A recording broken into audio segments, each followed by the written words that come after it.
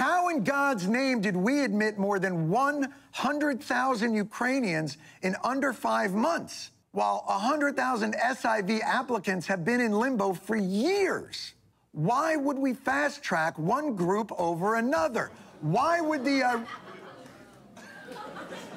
why would the Ukrainian people have an easier time getting into the United States?